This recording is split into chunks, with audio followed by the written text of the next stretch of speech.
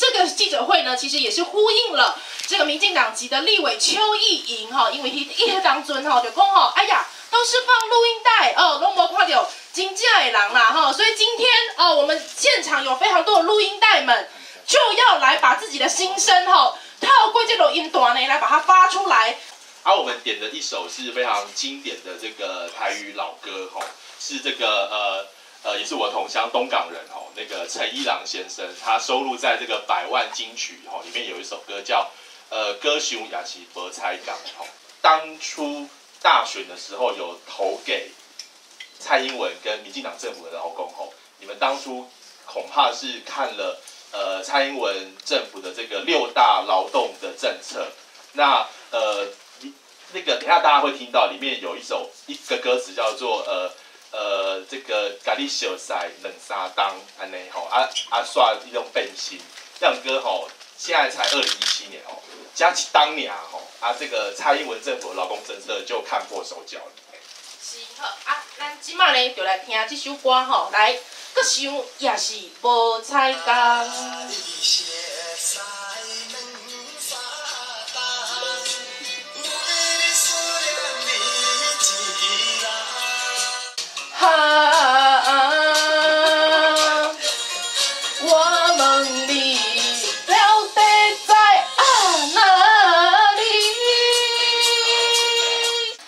这首歌其实是陈小云的，就是《爱情的骗子挖门里》哈。为什么点这首歌？其实之前在选前，蔡英文总统他就有谈到，他看到了台湾女性劳工的处境，知道我们很累，知道我们托育照顾都不够。他说他当选之后，除了刚刚讲的劳工六大政策之外，他还要再加强托育啊，还有其他照顾的这个公共负担的部分。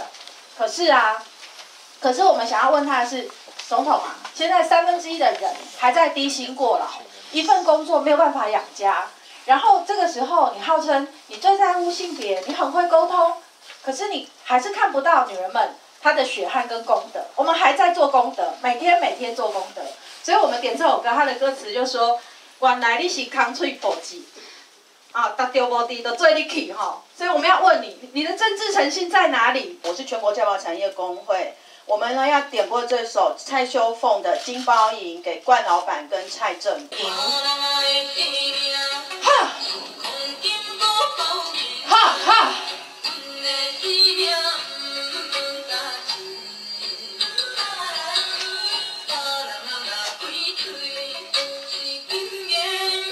哦，金庸有意是啥人讲的？哎，是。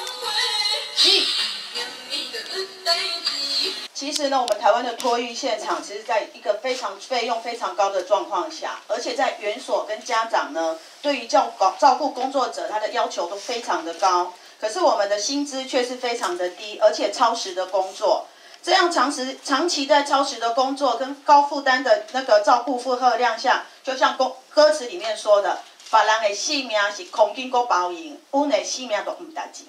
那当我们教保人员呢，跟雇主争取一些基本的劳动权益的时候，马上就被我们被 fire 掉，甚至会被联合起来变成黑名单，没有人敢用我们。请是不是就像刚刚歌词讲的，我哪给恭维两米都出代级了？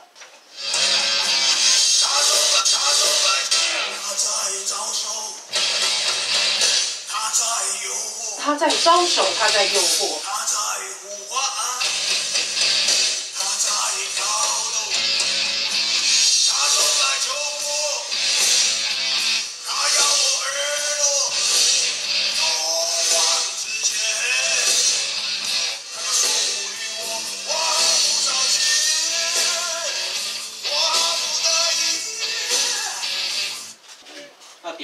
歌就是要送给我们民进党。在过去，民党在选举的时候，基本上是呃号召所有台湾的呃劳工啊，去用小猪的铺满，一个人一点零钱捐给民进党，让他能够当选。但在选后呢，在这次劳基法的修改里面，你可以看到，他完全是倾向于大财团资方的意见，包括这个是这次的放宽七休一，包括他让加班时数变长啊，包括他这个呃取消了休息日的呃做一算四，做五算八，所有这些东西都是给资方弹性，都是让资方可以便宜、免费，甚至是免费的利用劳工在正常工时以外的劳动力哈。所以在我们看来，这是完全背叛了过去他在选举过程里面啊，站在社会大众、站在一般劳工的这样的一个立场。所以选播这首歌《钱的力量》，要提醒民进党，基本上你已经被这个大财团啊资本所诱惑，走到他的道路上去。那大家一听就会知道他们的心声是什么。哈，来，我们先放歌。几百人，几百人。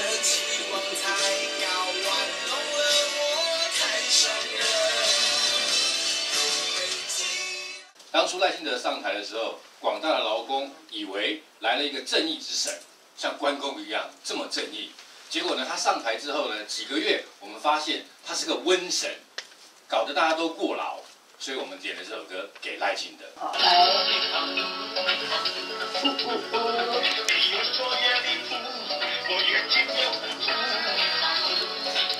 好，那因为这次修法的过程，行政院一直都没有提出有说服力的这个支持修法的数据或是评估的报告。那究竟为什么要赶在一例一修？去年的这个一例一修实施还不到一年，就急着要再去再去进一步修法，都没有提出可以说服人的这个论述，只是不断的一直跳针，说什么高铁啊，北什么呃中小企业老板啊，什么嗯很很辛苦很可怜的劳工要加班。啊，那其实基本上他每次讲这些话，我们其实心里都有个感觉，就是歌词里面的“你越说越离谱，我越听越糊涂”。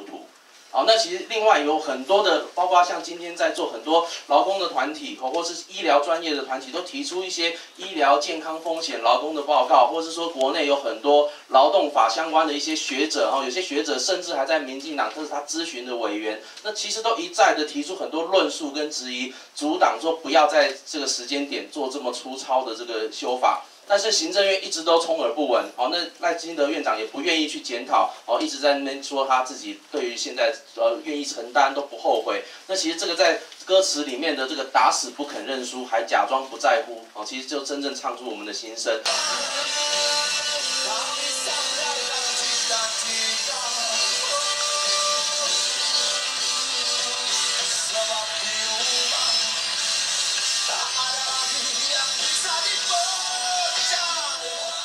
这首歌其实是印尼的劳工朋友跟我们介绍的。这首歌是叫做《风港》，然后它的意思其实就是解放或者是说打破的意思。那这首歌是在一九八九年的时候，那时候在印尼还是苏哈托军事独裁政权的时候，那这首歌就是用来要号召所有的人民要一起上街来一起对抗这个独裁政权的歌曲。那我你之今天之所以要介绍这首歌，其实就是因为虽然说在今天的台湾。好像已经很民主，好像已经很自由，但是从去年砍七天假到今年的劳基法修二，我们其实看到权力并没有回到人民的手上。歌词里面写的，事实证明很显然，我们必须要走上街头去粉碎那跨脚站立的魔鬼。所以点点播这首歌给所有要在一十二月二十三号上街的义工跟本老朋友们。